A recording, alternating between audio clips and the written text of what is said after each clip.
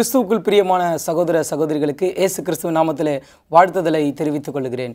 மறக்கப்பட்ட மா மனிதர்கள் என்ற இந்த சிறப்பு நிகழ்ச்சிக்குள்ளாக உங்கள் அனைவரையும் நான் வாழ்த்தி வருக வருக என்று வரவேற்றுக் கொள்கிறேன். இந்த சிறப்பு நிகழ்ச்சியை சிறப்பிக்கும்படியாக தேவ ஊழியர் கிர்ஷோம் அவர்கள் நமது மத்தியிலே இணைகிறார்கள். வாருங்கள் அவரை நிகழ்ச்சிக்குள்ளாக வரவேற்போம். ஸ்தோத்திரம். இந்த சிறப்பு நிகழ்ச்சிக்குள்ளாக உங்களை நாங்கள் வரவேற்கிறோம். சந்தோஷம். கடந்த நிகழ்ச்சியில் சார்ல்ஸ் ஃபிட்ச் அவங்களுடைய ஊழியத்தை குறித்து சொன்னீங்க. அவர் எப் எப்படியாக ஆண்டுடைய ஊழியத்தை செய்ய தொடங்கினார் அப்படிங்கிறத சொன்னீங்க. அநேக தடைகள் வந்தது அப்படின்னு சொல்லி சொன்னீங்க. இன்றைய நாளில் விசேஷமாக நம்ம என்ன படிக்க போகிறோம் ஒரு சிறிய ஒரு அறிமுகம். இந்த எபிசோடில் நாம் சார்ல்ஸ் ஃபிட்ச் எப்படியாக தன்னுடைய ஊழிய அனுபவத்தை மனச்சோர்விற்கு பிறகு செய்தார் என்றதை நாம் பார்க்க போகிறோம் பின்னர் அந்த கடைசி நாட்களிலே விசேஷமாக ஆயிரத்தி எட்நூற்றி நாற்பத்தி நாலு அக்டோபர் இருபத்தி ரெண்டு அந்த நாளை அவர் சந்தித்தாரா இல்லையா என்ற காரியங்களை நம்ம என்ன செய்ய போகிறோம் பார்க்க போகிறோம் மிக்க நன்றி. ரொம்ப அற்புதமாக சொன்னீங்க. மன சோர்வுக்கு பிற்பாடு அவருடைய ஊழிய அனுபவம் எந்த வண்ணமாக இருந்தது கொஞ்சம் சொல்லுங்கள் நம்ம ஏற்கனவே பார்த்தது போல் ஜோசியா லிச் என்பவர் அவரை சந்தித்த பிறகு ஒரு புது உத்வேகத்துடன் என்ன செய்கிறாரு சார்ல்ஸ் விச் தன்னுடைய ஊழிய பணியை மேற்கொள்வதற்காக என்ன செய்கிறாரு அங்கே பிரயாசப்படுகிறார். தான் கற்றுக்கொண்ட பாடங்களை என்ன செய்கிறாரு அங்கே உபவாசம் இருந்து ஜெபம் செய்து அங்கே ஊழியத்துக்கு அவர் கடந்து செல்வதை பார்க்க முடியும். இதை நாம் படிக்கும் பொழுது எனக்கு ஒரு ஒரு காரியம் ஒன்று ஞாபகம் வருகிறது. அநேக நேரத்தில் கதவுகள் நமக்கு அடைப்பட்டிருக்கும் பொழுது நாம் ஜெபிக்கும் பொழுது என்ன நடக்கிறது? அங்கே கதவுகள் திறக்கிறதை நம்ம என்ன செய்ய முடியும்? பார்க்க முடியும். நிச்சயமா. அவர் heavenly father has thousand ways to provide for us என்று சொல்லி ஒரு ஆசிரியர் எழுதியிருக்கிறாங்க. அதில் நமக்கு என்ன செய்யாதான்? ஒன்று கூட தெரியாதான். In which we know nothing அப்படின்னு சொல்லி என்ன செய்கிறாங்க சொல்கிறாங்க அப்படியாக சார்ல்ஸ் ஃபிட்சோடைய வாழ்க்கையிலே எங்கேயுமே அவரால் பிரசங்கம் பண்ண முடியாத சூழ்நிலையிலே அங்கே அவருக்கு ஒரு ஊழிய அழைப்பு வருகிறத நம்ம செய்ய முடியும்? பார்க்க முடியும். இதற்கு பிற்பாடு அவர் என்ன செய்கிறாரு அங்கே ஒரு காரியத்தை சொல்லணும்னா வேட்டைக்கு வெயிட் பண்ணிட்டு இருக்கிற ஒரு புலி எப்படி இருக்கும்? அதை போல் என்ன செய்கிறாரு தன்னுடைய சத்தியங்களை சொல்ல வேண்டும் என்று அங்கே பிரயாணம் ஒரு அதிகமான பிரயாணத்தை அவர் மேற்கொள்வதை பார்க்க முடியும்.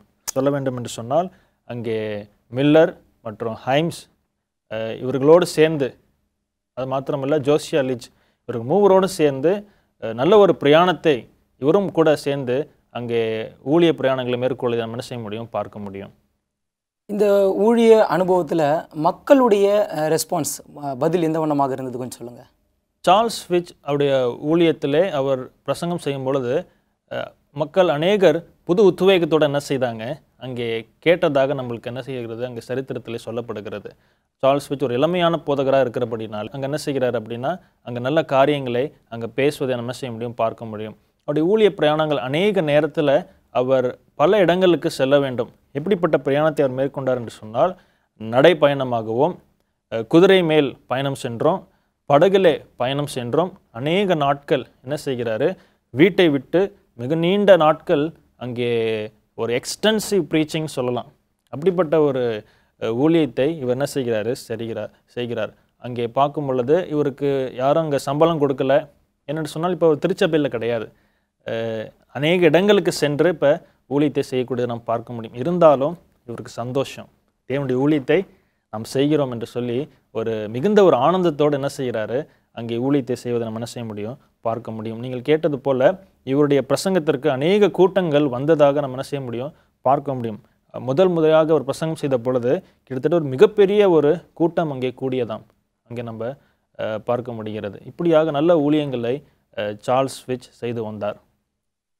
மிக்க நன்றி. அவருடைய ஊழியத்தை குறித்து சொன்னீங்க. நிறைய பேர் அவருடைய பிரசங்கத்தை கேட்பதற்காக கூடினார்கள் என்று சொல்லி சொல்கிறீங்க தொடர்ந்து அந்த ஊழியத்தில் அவரை எந்தெந்த பகுதிகளுக்கெல்லாம் சென்றார் எந்தெந்த இடத்துலலாம் அவருடைய பிரசங்கத்தை செய்தார் என்பதை குறித்து சொல்லுங்கள் ஒரு முறை அவர் மாண்ட் பிளேர் என்ற இடத்துக்கு அவர் செல்லும் பொழுது கிட்டத்தட்ட புதன்கிழமை அது ஒரு புதன்கிழமை பன்னிரெண்டரை மணி ஆயிடுச்சு மதியானம். அவருடைய ஊழிய அனுபவம் எப்படி இருந்தது நமக்கு என்ன செய்கிறாரு வாசகமாக நமக்கு எழுதியிருக்கிறார். என்ன சொல்கிறார் அப்படின்னா அந்த இடத்துக்கு வரும் பொழுது கடந்த வாரத்தில் கிட்டத்தட்ட பதிமூணு முறை பிரசங்கம் செய்து இடைவிடாமல் அதுக்கு எந்த ஒரு கேப்புமே இல்லாமல் என்ன செய்திருக்கிறாரு பிரயாணப்பட்டு எழுபத்தைந்து மைல்கள் பிரயாணப்பட்டு அந்த இடத்துக்கு புதன்கிழமை வந்து சேர்ந்திருக்கிறார். அந்த சாயங்காலமே கிட்டத்தட்ட ஒரு இரண்டரை மணி நேரம் தான் அவருக்கு தூங்குவதற்கு நேரம் கிடச்சிதான். அந்த நேரத்தில் திரும்ப சாயங்காலமே அவர் இன்னொரு ப்ரீச்சிங் அப்பாயின்மெண்ட் அவருக்கு கொடுக்கப்படுகிறது. அந்த ப்ரீச்சிங் அப்பாயின்மெண்ட்டையும் அவர் முடிச்சுட்டு அன்று இரவு இரண்டு மணிக்கு அவர் பிரயாணப்பட்டு அங்கே கிளேர்மோண்ட் என்ற இடத்துக்கு இன்னொரு பிரசங்கத்திற்கு அவர் அங்கே என்ன செய்கிறாரு கடந்து போகிறார். இந்த அனுபவத்தை வைத்து நாம் பார்க்கும் பொழுது ஒரு பெரிய ஒரு பிஸி ஸ்கெடியூலில் தான் என்ன செய்திருக்கிறாரு? கண்டிப்பா. அஹ், சார்ல்ஸ் ஃபிட்ச் இருந்திருக்கிறதாக நம்ம என்ன செய்ய முடிகிறது? புரிந்து கொள்ள முடிகிறது. அஹ், வல்லமையான ஒரு பிரசங்கராக இருந்தால் தான் என்ன செய்ய முடியும்? அநேக பேர் நம்மளை கூப்பிடுவாங்க. அநேக இடங்களுக்கு அவர் சென்றிருக்க முடியும். அப்படியாக நல்ல ஒரு பிரசங்கராக அவர் இருந்திருக்கிறார்.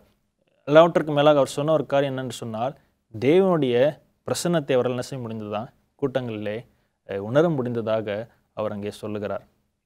மிக்க நன்றி.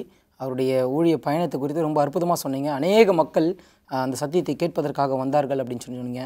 அநேக அழைப்புகள் ஊழிய அழைப்புகள் அவருக்கு வந்ததுன்னு சொல்லி சொன்னீங்க. ரொம்ப பிஸியாக இருந்த ஒரு மனுஷனாக பார்க்க முடிகிறது. தொடர்ந்து அவருடைய ஊழியத்தில் இன்னும் என்னென்ன காரியங்கள்லாம் செய்தார் என்பதை குறித்து கொஞ்சம் சொல்லுங்கள் ஆயிரத்தி எட்நூற்றி நாற்பத்தி ரெண்டாம் ஆண்டில் அவர் என்ன செய்கிறார் அப்படி சொன்னால் தீர்க்க தரிசனங்களை படிக்க தொடங்குகிறார்.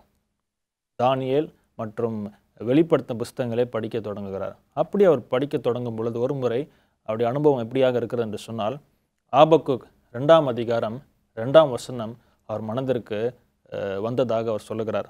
அந்த வசனத்தை வாசிக்கும் பொழுது அப்பொழுது கர்த்தர் எனக்கு பிரதியுத்தரமாக நீ தரிசனத்தை எழுதி அதை கடந்தோடுகிறவன் வாசிக்கும்படி பலகையிலே தீர்க்கமாக வரை என்று சொல்லி ஒரு வசனம் சொல்லப்படுகிறது. இது அவர் மனதில் வந்து கொண்டே இருந்ததான் இந்த வசனத்தை அவர் படித்தவுடன் ஜெபத்தோட என்ன செய்கிறாரு தான் படித்த காரியங்களை விசேஷமாக அந்த ஆயிரத்தி எட்நூற்றி அந்த நாற்பத்தி மூணு அந்த கால்குலேஷன்ஸ் இருக்குது பார்த்தீங்களா மில்லருடைய கால்குலேஷன்ஸ் தீர்க்க தரிசன அதை வந்து one eight thousand one eight four three சார்ட்டுன்னு சொல்லுவாங்க. அதாவது one thousand eight hundred forty three சார்ட்டுன்னு சொல்லுவாங்க. அந்த சார்ட்டை வந்து என்ன செய்கிறாரு தயார் செய்வதற்கு அவர் அங்கே பிரயாசப்படுவதை நம்ம செய்ய பார்க்க முடியும். மிக்க நன்றி. அந்த தீர்க்க தரிசன பகுதிகளை படித்து ஆண்டவர் ஒரு உணர்த்துதலை கொடுத்ததை நீங்கள் ரொம்ப அற்புதமாக சொன்னீங்க. இன்னும் தொடர்ந்து நாம் அதை படிப்போம். ஒரு சிறிய இடைவேளைக்கு பிற்பாடு இவருடைய வாழ்க்கையிலிருந்து என்ன நடந்தது என்று சொல்லி நாம் பார்ப்போம். பிரியமானவர்களே ஒரு சிறிய இடைவேளைக்கு பிற்பாடு சார்ல்ஸ் ஃபிட்ச் அவங்களுடைய வாழ்க்கையில் அந்த தீர்க்க தரிசன பகுதிகளை படித்த பிற்பாடு அவர் என்ன செய்தார் என்பதை நாம் பார்ப்போம்.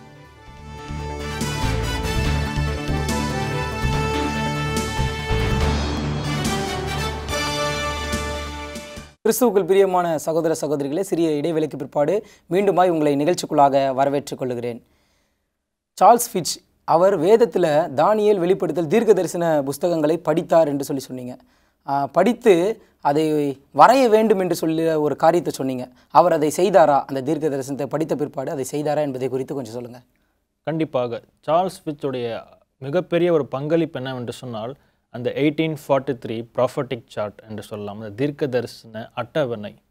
மில்லர் எடுத்து சொல்லிய அந்த கால அட்டவணைகளை அந்த கால தீர்க்க தரிசனங்களை அதனுடைய ஒவ்வொரு ஒவ்வொன்றையும் சரியாக அதை எழுதி என்ன செய்தார்? ஒரு படமாக வரைந்து ஒரு என்ன சொல்கிறது ஒரு கிளாத் அப்படின்னு சொல்லலாம். நம்ம ஒரு துணியில் என்ன செய்கிறாரு அதை அழகாக என்ன செய்கிறாரு? வரைகிறதை நாம் என்ன செய்ய முடியும்? பார்க்க முடியும். சார்ல்ஸ் ஃபிச்சும் அவரோடு சேர்ந்து அப்போலோஸ் ஹேல் என்று சொல்லக்கூடிய இருவரும் சேர்ந்து என்ன செய்கிறாங்க அதை வடிவமைப்பதை நாம் என்ன செய்ய முடியும்? பார்க்க முடியும். ரொம்ப அற்புதம் பாஸ்டர். ரெண்டாயிரத்தி முந்நூறு அந்த ராப்பகல் அந்த தீர்க்க தரிசனத்தை அந்த கால அட்டவணையை ஒரு சார்ட் மாதிரி வரைஞ்சாங்க போட்டு வச்சாங்க அப்படின்னு சொல்லி சொன்னீங்க. ரொம்ப அருமையாக இருக்குது. தொடர்ந்து அவருடைய ஊழியத்தை சொல்லுங்கள் கண்டிப்பாக பார்க்கும் பொழுது இது ஒரு முக்கியமான ஒரு பங்கு வகிக்கிறது. என்று சொன்னால் இது ஒரு மனிதனால் ஏற்படுத்தப்பட்ட ஒரு காரியம் கிடையாது. என்று சொன்னால் அந்த வசனத்துக்கு இணங்க நீ கண்ட வகைகளை என்ன செய்யி ஒரு பலகைகளை எழுது என்று சொல்லி ஆபகுக் தீர்க்க தரிசனத்துடைய ஒரு அனுபவத்தை என்ன செய்கிறாரு அங்கே சார்ல்ஸ் விச் அங்கே மேற்கோள் காட்டுகிறார். அப்படியாக இது மில்லரைட் இயக்கத்தில் இருந்த விசுவாசிகள் என்ன சொல்கிறாங்க அப்படின்னா இது தேவன் கொடுத்த ஒரு தரிசனம். தேவனால் வந்தது என்று சொல்லி என்ன செய்கிறாங்க இதை விசுவாசித்தார்கள். இவருடைய பங்களிப்பு இதில் ஒரு மிகப்பெரிய ஒரு காரியமாக இருந்துச்சு. அது மாத்திரமல்ல போஸ்டன் கான்ஃபரன்ஸ் என்று சொல்லக்கூடிய ஒரு கான்ஃபரன்ஸ் நடைபெற்றது ஆயிரத்தி எட்நூற்றி நாற்பத்தி ரெண்டாம் ஆண்டு. அந்த ஆண்டில் இந்த கான்ஃபரன்ஸில் என்ன ஒரு முடிவு எடுக்கிறார்கள் என்று சொன்னால் இந்த ப்ராஃபிட்டிக் சார்ட்டை நம்ம என்ன செய்யணும்? அநேகருக்கு கொண்டு செல்ல வேண்டும். அநேகர் இதை பயன்படுத்த வேண்டும் என்ற ஒரு நோக்கோடு என்ன செய்கிறாங்க இதை போன்று இன்னும் ஒரு முந்நூறு பிரதிகளை நீங்கள் என்ன செய்யுங்க? உருவாக்க வேண்டும் என்று சொல்லி அங்கே ஒரு அழைப்பு கொடுப்பதை நம்ம என்ன செய்ய முடியும்? பார்க்க முடியும். இப்படியாக சார்ல்ஸ் ஃபிட்சுடைய இந்த ஒரு பங்களிப்பு ஊழியத்திலே மிக அதிகமாக என்ன செய்யப்பட்டது? அது பயன்படுத்தப்பட்டது என்பதிலே நாம் புரிந்து கொள்ள முடியும்.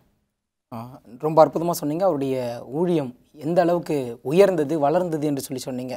விசேஷமாக அவருடைய ஊழியம் ஏதாவது ஒரு பட்டணத்தில் அவர் டார்கெட் பண்ணி இந்த இடத்துல இந்த விசேஷமான சத்தியத்தை நான் சொல்லணும் அப்படின்ட்டு அவர் ஏதாவது ஒரு பட்டணத்தை டார்கெட் பண்ணியிருந்தாரா? கண்டிப்பாக ஒரு குறிப்பிட்ட பட்டணத்தை நம்ம என்ன செய்ய முடியும் சொல்ல முடியும். சார்ல்ஸ் ஃபிச் என்றாலே அந்த ஒரு பட்டணத்தை என்ன செய்யலாம் நம்ம சொல்லலாம். கிளீவ்லேண்ட் என்ற ஒரு இடத்துக்கு என்ன செய்கிறாரு அவர் இடம் பெயர்ந்து போகிறார்.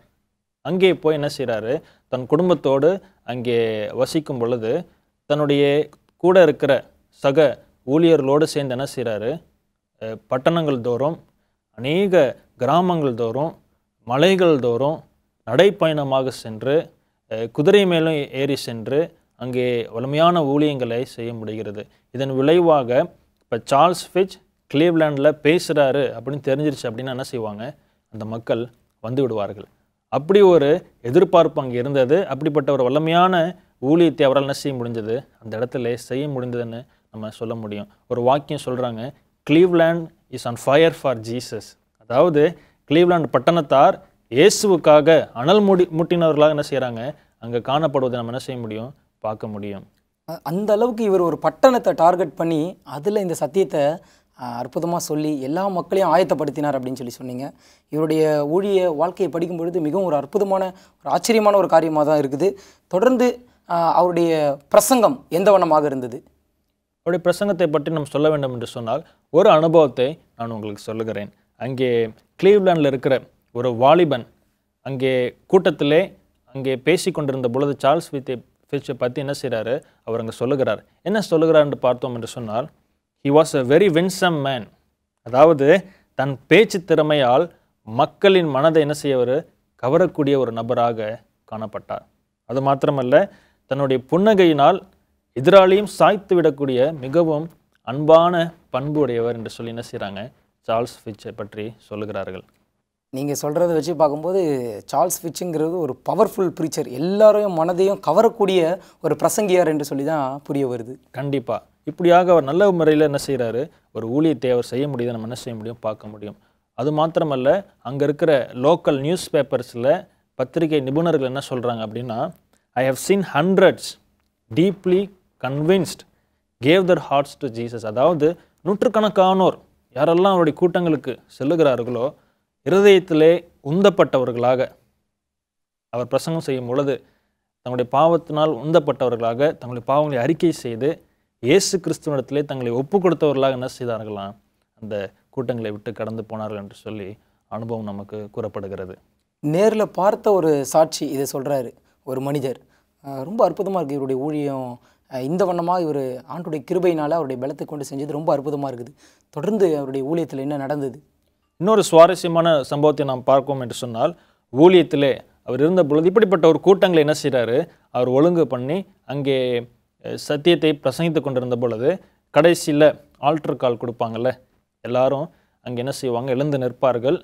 யாரெல்லாம் நீங்கள் தேவனிடத்திலே நீங்கள் உங்களை ஒப்பு கொடுக்க விரும்புகிறீர்களோ ஒரு தீர்மானம் எடுக்க விரும்புகிறீர்களோ முன்னே வாங்கன்னு சொல்லி என்ன செய்கிறாரு சார்ல்ஸ் ஃபிச் அங்கே ஒரு அழைப்பு கொடுக்குறார். அழைப்பு கொடுத்த மாத்திரத்திலே அங்கே ஒரு தடித்த நபர் ஒன்று ஒருவர் என்ன செய்கிறாராம் வராராம். அங்கே பொறுமையாக நடந்தவரால் நடக்க முடியல. ஆனால் பொறுமையாக நடந்து என்ன செய்கிறாரு அந்த ஒரு ஆவலோடு அங்கே என்ன செய்கிறாரு வருகிறத நம்ம என்ன செய்ய முடியும்? பார்க்க முடியும். அப்படி வருகிற வ வழியில் என்ன ஆகுது அப்படின்னு சொல்லி பார்த்தோம் அப்படின்னா தடுக்கி விழுந்து விடுகிறார். அவருடைய சரீரம் கொஞ்சம் த- இருக்கிறனால தடுக்கி விழுந்து விடுகிறார். அப்படியே விழுந்து என்ன செய்கிறாரு அது கொஞ்சம் மேலாப்பாக இருக்கிற அந்த இடமா இருந்தனால சரிவாக இருக்கிற இடம்னால அப்படியே உருண்டு என்ன செய்கிறாராம் அங்கே கீழே ஓடுகிறதை நம்ம என்ன செய்ய முடியும்? பார்க்க முடியும். பின்னர் தடுக்கி விழுந்து எழுந்து நிற்கும் பொழுது அந்த அரங்கமே என்ன செய்கிறது? சிரிக்கிறது. இதை பார்த்த மாத்திரத்திலே சார்ல்ஸ் பிச் ஒரு வாக்கியத்தை சொல்லுகிறார். நல்ல ஒரு வாக்கியத்தை சொல்கிறார் உங்களுக்காக நான் வாசிக்கிறேன். நெவர் மைண்ட் பிரதர் நீங்கள் அதை நினைத்து என்ன செய்ய வேண்டாம்? கவலைப்படாதீங்க. கண்டு கொள்ளாதீங்க it's better to stumble into heaven than to walk straight into hell அப்படின்னு சொல்லி ஒரு வாக்கியத்தை சொல்கிறாராம் நேராக நடந்து நகரத்திற்கு விழுவதை பார்க்கலும் தடுக்கி விழுந்து பரலோகத்துக்கு வருவது மேல் என்று சொல்லி அவர் சொன்ன மாத்திரத்திலே அந்த அரகம் முழுவதும் ஒரு விதமான அமைதி நிலவுகிறதை பார்க்க முடியும். இப்படியாக தன்னுடைய பேச்சு திறமையினால் வலிமையான ஊழியத்தை செய்து தன்னுடைய அன்பான குணத்தினாலும் நல்ல ஒரு பேச்சு திறமை உடையவராக காணப்படுகிறார் சார்ல்ஸ் ஃபிச் மிக்க நன்றி. சார்ல்ஸ் ஃபிச் அவருடைய ஊழியம் அவருடைய பிரசங்கம் பிரசங்கத்தின் நிமித்தமாக நடந்த விளைவுகள் எல்லாவற்றையும் அற்புதமாக சொன்னீங்க. தொடர்ந்து இவருடைய வாழ்க்கையில் ஊழிய பயணம் எந்த வண்ணமாக சென்றது என்பதை ஒரு சிறிய இடைவெளிக்கு பிற்பாடு பார்ப்போம். பிரியமானவர்களே ஒரு சிறிய இடைவேளைக்கு பிற்பாடு இவருடைய ஊழியத்தின் முடிவை குறித்தும் நான் பார்க்க போகிறோம்.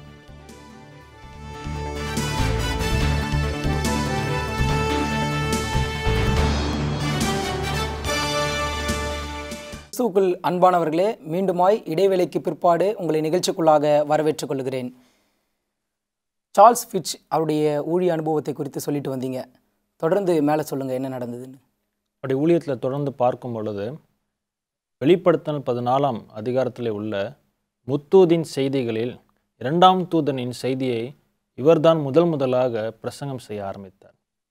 பார்க்கும் பொழுது come out of my people அவளை விட்டு வெளியே வாருங்கள் என்று சொல்லி அந்த பாபிலோன் ஆவிக்குரிய பாபிலோனை குறித்து சொல்லுகிற காரியத்தை நாம் அறிந்திருக்கிறோம். அப்படியாக அந்த நாட்களிலே தவறான போதனைகளையும் வேதத்துக்கு புறம்பான காரியங்களையும் பேசி கொண்டிருந்த பிரசங்கம் செய்து கொண்டிருந்த திருச்சபைகளை உண்மையாக கண்டித்து அவர் என்ன செய்தார்? அவளை விட்டு வெளியே வாருங்கள். திருச்சபைகளை குறித்து என்ன செய்தார் ஒரு எழுப்புதலான ஒரு செய்தியை முதல் முறையாக இந்த இரண்டாம் தூதின் செய்தியை அறிவித்தவர் இந்த சார்ல்ஸ் ஃபிட்ச் எப்போ பிரசங்கம் பண்ண ஆரம்பித்தார் அப்படின்னா ஆயிரத்தி எட்நூற்றி நாற்பத்தி மூன்றாம் ஆண்டு வசந்த காலம் அதாவது ஸ்ப்ரிங் சீசனில் என்ன செய்கிறாரு இந்த சத்தியத்தை முதல் முதலாக அவர் பிரசங்கிக்க ஆரம்பிக்கிறார். ரொம்ப அருமையாக சொன்னீங்க. அதாவது முத்தூதினுடைய இரண்டாவது தூது அந்த காரியத்தை முதலாவது பிரசங்கம் செய்தார் என்று சொல்லி சொன்னீங்க. இதனுடைய விளைவு என்னவாக இருந்தது? இதனுடைய ரிசல்ட் அநேக கடின இருதயம் உள்ளவர்கள் என்ன செய்கிறாங்க அப்படின்னா இயேசு கிறிஸ்துவை ஏற்றுக்கொள்கிறார்கள். முரண்டு பிடிக்கிறவங்க ரொம்ப நாட்கள் இயேசு கிறிஸ்துவுடைய சத்தத்தை கேளாதவர்களாம் இருப்பாங்க பார்த்தீங்களா தங்களை ஒப்பு கொடுக்காதவர் ஒப்பு கொடுக்காதவர்கள் கண்டிப்பாக அவர்கள் எல்லாவற்றையும் அவர்கள் எல்லாரும் என்ன செய்கிறாங்க இயேசு கிறிஸ்துவை ஏற்றுக்கொள்வதை நம்ம என்ன செய்ய முடியும்? பார்க்க முடியும். இப்போ அவருடைய இறுதி கட்டத்திற்கு நம்ம என்ன செய்திருக்கிறோம்? வந்திருக்கிறோம்.